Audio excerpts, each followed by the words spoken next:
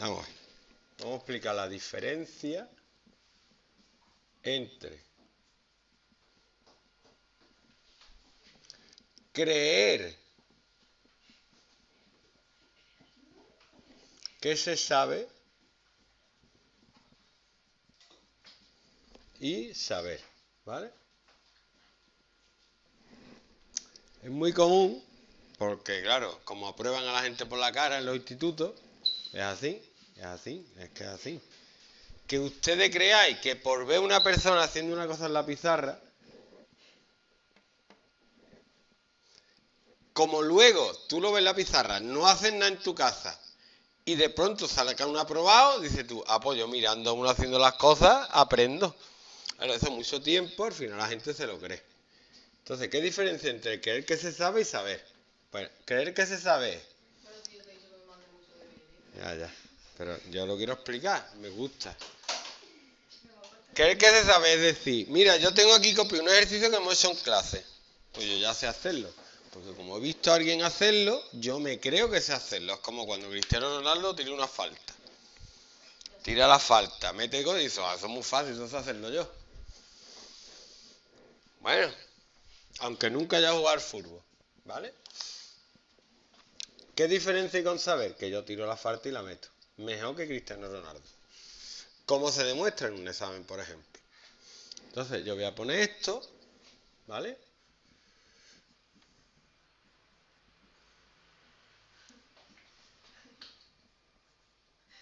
Y vamos a ver quién sabe hacerlo. 3, 2, 1. No, no, no os veo haciéndolo.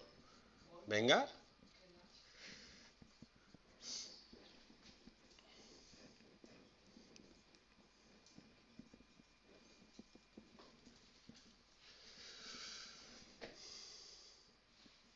Ya, ¿vale? Yo sé hacerlo, ¿vale? Vosotros todavía no habéis empezado, ¿es cierto? Lo está copiando todavía, vale. Pues yo sé hacerlo, ¿vale? Y vosotros no. ¿Cuál es la diferencia? El tiempo que he tardado. claro, por favor. Esto no es una chulería, ¿vale? No, no es chulea. Es cuando vosotros decís que sabéis hacer algo, tenéis como mínimo, como mínimo, sabe hacerlo así.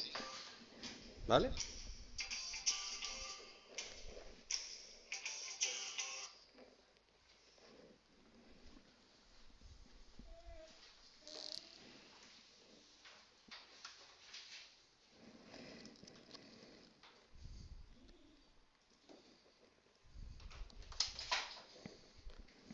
¿Vale?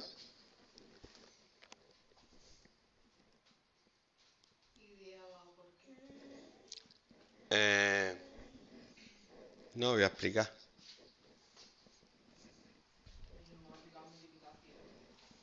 Bueno, pero tú dices que sabe hacerlo y lo tiene aquí en la libreta.